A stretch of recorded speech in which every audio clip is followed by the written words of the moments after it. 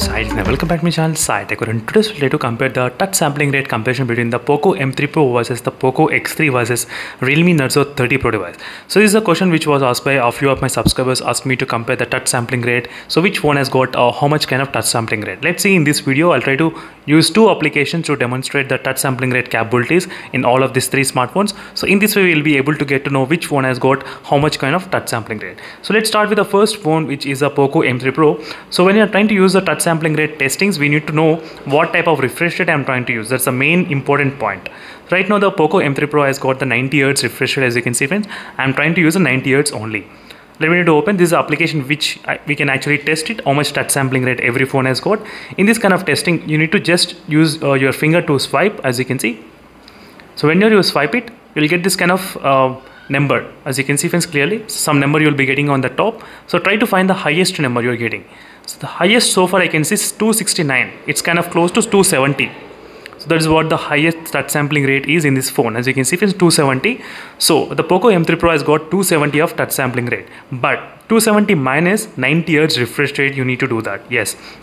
So 270 minus 90 Hz. So overall you're getting touch sampling rate about 180 Hz touch sampling rate in the Poco M3 Pro device. That's perfect, no problem, good to go. And now next phone is the Poco X3. Let's see the Poco X3 how much touch sampling rate uh, we do have. So here also same thing friends, I'll, i need to show you exactly what is the refresh rate I'm trying to use. Let me go, go to the refresh rate and 120 Hz I'm trying to use as you can see. So 120 Hz refresh rate I'm using and let's see the score how much we can get. So we're getting score about close to 360 Hz I'm getting 350 I can some some number I can 358 as well as you can see friends clearly you can see the number it's kind of as a round figure try to consider 360 so now what will happen? So 360 minus 120 so now the total is 240 so 240 hertz is the touch sampling rate for the poco x3 device. So slightly the winner when compared with the poco m3 pro. Now let's see the realme narzo 30 pro. What is the touch sampling rate for this one? So first let me show you exactly what is the refresh rate i'm trying to use. That's the one thing. So refresh rate I'm trying to use is a 120 Hz. As you can see friends, 120 Hz refresh rate I'm trying to use during this process of demonstration. So now let's let me need to open the same application. Let's see how much the number is there. I think the number number is coming close to 270. As you can see friends, it's coming close to 270. 269 I did see the highest so far. It's coming close to 270 only, nothing more than that during this process of demonstration as you can see only 270 friends now let me need to do one thing so 270 minus 120 hertz so 150 hertz is the touch sampling rate for the realme narzo 30 pro device so whereas the poco m3 pro has got 180 Hz and poco x3 has got 240 Hz. so in this way you should know which phone has got what type of touch sampling rate this is a really good thing to check before actually uh, buying the phone you should all, always know what type of touch sampling rate is a mobile phone now let's move to the next application which will also uh, test the touch sampling rate capabilities. Which phone will have what type of touch sampling rate. Let me to open this application.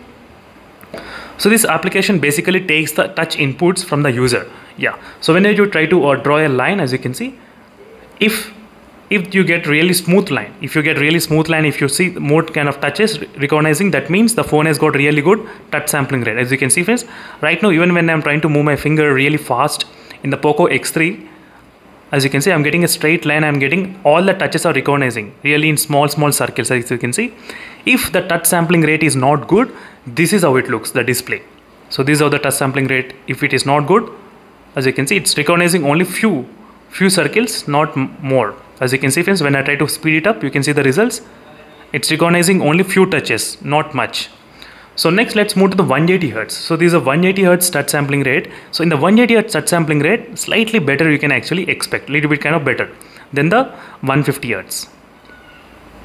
As you can see friends, the difference how it is between the three phones.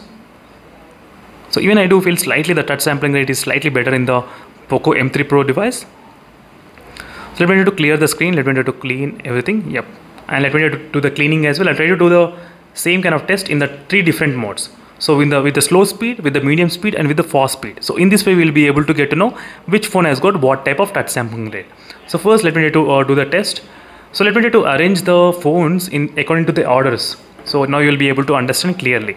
So 240 hertz 180 hertz and 150 hertz. So now now you can observe clearly friends which phone has got what type of settings. Let me need to do in slow motion. So slow motion means i'm trying to move my finger a little bit slowly not fast. Same kind of speed I'm trying to maintain in the even in the Poco M3 Pro as well. Next is the Realme Narzo 30 Pro. As you can see in the slow motion, no issues. All the three phones are recognizing same. Now let me try to slightly speed up.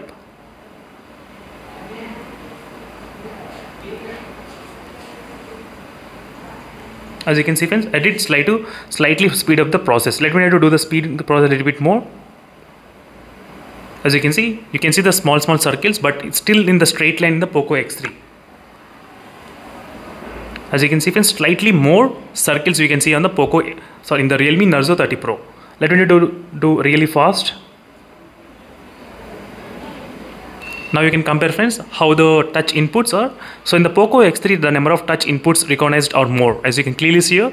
So in the poco m3 pro the touch input slightly less than the poco x3 a little bit. But the Realme Narzo 30 Pro has got really less uh, touch inputs. As you can see, it's not recognizing something, but both Poco M3 Pro and this Realme Narzo 30 Pro slightly close to each other in terms of the touch sampling rate. This is what the conclusion I can definitely give you.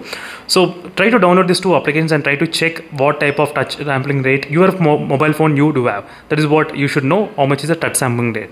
So always try to do the minus. So you should always do the minus with the refresh rate. So whatever the refresh rate you are trying to use, try to do the minus and the result is the final score for the touch sampling rate in your device. So most of the mid-range segment mobile phones uh, nowadays we are getting with the 240 Hz touch sampling rate and 180 Hz touch sampling rate. So these are the two common things which are we are trying to see in the mid-range segment mobile phones. But right now there is only one phone which has 240 Hz touch sampling rate in this kind of price range is the Poco X3. So Poco X3 is the only one phone which has got really good touch sampling rate within this uh, kind of 15,000 price range. That's a really good fantastic thing friends. That is the reason most of the users like the gamers. So gamers for the mid-range segment mobile phones they're trying to prefer the Poco X3s because of the touch sampling rate and because of the refresh rate, because of the battery, because of the performance and everything, all those aspects. So they are trying to prefer the Poco X3 even till now as well. If you don't want the 5G, then definitely you can prefer the Poco X3 mobile phone. So thank you friends for watching this video. This is a quick uh, touch sampling rate comparison between all of these three devices. I hope you like this video and make sure to check the links in description for more videos and don't forget to hit the subscribe and click that bell icon as well to get notified. And see you in the next video friends. Until then stay tuned for more updates. Bye.